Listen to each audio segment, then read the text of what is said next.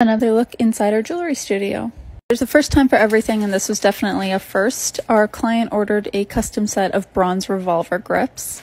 So you can see Dan is carving the wax here into the texture that the customer ordered.